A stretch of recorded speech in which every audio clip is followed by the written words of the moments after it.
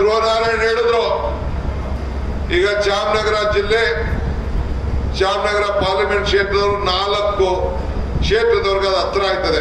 ಕೊಳ್ಳೆಗಾಲ ಆ ಕಡೆ ಎಲ್ಲ ಹತ್ರ ಆಯ್ತದೆ. ಅನೂರೆಲ್ಲ ಮೊದಲನೇ ದಿನ ಬರ್ತಾರೆ.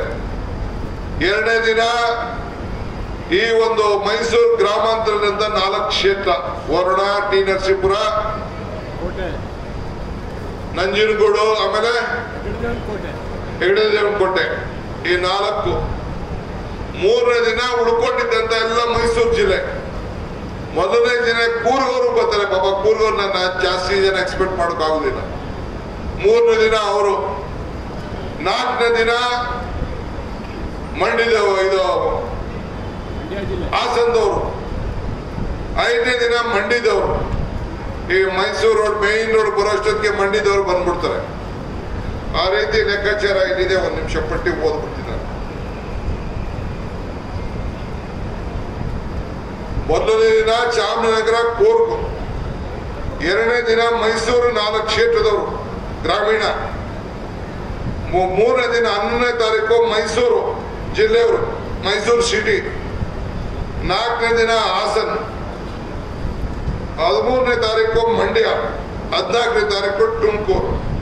ಮಿಕ್ಕಿದು ಸಿಟಿ. ಆಮೇಲೆ ನೀವು ಒಂದಿನ ಬಂದಾದ್ಮೇಲೆ ಕೊನೆ ದಿನ ಕಂಪಲ್ಸರಿಯಾಗಿ ತಿರ್ಗಾ ಒಂದೊಂದು ದಿನಕ್ಕೆ ಹದಿನೈದು ಕಿಲೋಮೀಟರ್ ಹದಿನಾರು ಕಿಲೋಮೀಟರ್ ನಡಿತೀವಿ. ನಿಮ್ಗೆಲ್ಲ ಊಟ, ತಿಂಡಿ, ದಿನ ನಡೀತೀನಿ ಅನ್ನೋರು ರಿಜಿಸ್ಟರ್ ಮಾಡ್ಕೊಳ್ಳಿ. ನಿಮಗೆ ಮಲಗಕ್ ಜಾಗ ಹೋಟ್ಲು ಬಾಟ್ಲಿಲ್ಲ ಚೌಟ್ರಿಗಳು ನಾನು ಚೌಲ್ಟ್ರಿನೇ ಮಲಿಕೋತೀನಿ. ನೀವು ಚೌಟ್ರಿ ಊಟ, ತಿಂಡಿ, ಸ್ನಾನದ ವ್ಯವಸ್ಥೆ ಎಲ್ಲ ಮಾಡ್ಕೊಡ್ತೀವಿ. ಸೊ ರಿಜಿಸ್ಟ್ರೇಷನ್ ಮಾಡ್ಕೊಳ್ಳಿ. ಒಂದು ರಿಜಿಸ್ಟ್ರೇಷನ್ ಪಾಂಪ್ಲೆಟ್ ಅಲ್ಲಿ ಒಂದು ಮೇಕೆದಾಟ್ ನಮ್ಮ ಹಕ್ಕು ಅಂತ ಇದೆ. ನೀವು ಅದನ್ನ ಎಂಟ್ರಿ ಮಾಡಿದ ತಕ್ಷಣ ಎಲ್ಲ ಡೀಟೇಲ್ ಬಂದ್ಬಿಡ್ತದೆ. ನಿಮ್ಮ ಫೋಟೋ ನಿಮ್ಮ ಫೋನ್ ನಂಬರ್ ಪ್ರಿಂಟ್ ಮಾಡಿಬಿಟ್ಟು ಮುಗಿದೋಯ್ತು. ನಿಮ್ಮ ರಿಜಿಸ್ಟ್ರೇಷನ್ ಆಗ್ತದೆ. ಯಾಕೆಂದ್ರೆ ಸರ್ಟಿಫಿಕೇಟ್ ಕೊಡಬೇಕು ಅಂತ ತೀರ್ಮಾನ ಮಾಡಿದ್ದೀವಿ. ಈ ದೇಶಕ್ಕೆ ಸ್ವಾತಂತ್ರ್ಯ ಹೋರಾಟಗಾರರಿಗೆ ಯಾವ ರೀತಿ ಸರ್ಟಿಫಿಕೇಟ್ ಕೊಟ್ಟವಲ್ಲ ಹಂಗೆ ನಾನು ಸಿದ್ದರಾಮಯ್ಯನವರು ಇಬ್ರು ಸೈನ್ ಹಾಕಿ ಇಂಥ ಒಂದು ಪವಿತ್ರವಾದಂತ ಹೋರಾಟದಲ್ಲಿ ಪಾಲ್ಗೊಂಡಿದ್ದೀರಿ ಅಂತೇಳಿ ನಿಮ್ಮ ಮುಂದಿನ ಮಕ್ಕಳಿಗೆ, ಪೀಳಿಗೆಗೆ ನೀರಿಗೋಸ್ಕರ ಅಂತ ಅಂತೇಳಿ ಈ ಹೋರಾಟ ರೈತರಿಗೋಸ್ಕರ ನಾವು ಹೋರಾಟ ಮಾಡಿದ್ದೇವೆ ಅಂತೇಳಿ ಒಂದು ಗುರುತಿನ ಚೀಟಿ ಕೊಡಬೇಕು ಅಂತ ಹೇಳಿ ನಾವು ತೀರ್ಮಾನ ಮಾಡಿದ್ದೇವೆ. ಸೊ ಅದಕ್ಕೆ ನೀವೆಲ್ಲ ಸೇರಿ ರಿಜಿಸ್ಟ್ರೇಷನ್ ಮಾಡ್ಕೊಳ್ಬೇಕು.